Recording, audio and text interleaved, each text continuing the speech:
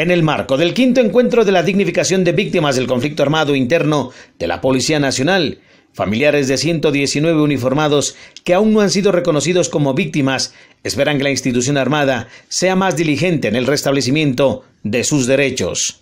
Pues yo francamente estoy convencida de que siendo un miembro de la policía, como fue mi hijo, un patrullero joven que quiso entregar lo mejor de él y haciendo, en aras de hacer lo mejor de él, fue víctima de las FARC. Yo pienso de que la policía debe de ayudar a sus integrantes y, por ende a sus familiares. Yo que soy su madre, sus hermanos, su padre, todos no hemos sentido el apoyo del gobierno porque nos ha excluido, porque hemos tenido pruebas tardías.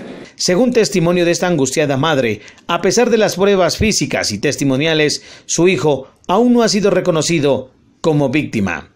Entonces yo pienso de que es hora de que el gobierno se ponga la mano en el pecho y piense de que la policía también son seres humanos y merecen de que sean reconocidos como víctimas también. ¿Su hijo fue reconocido como víctima? No, no.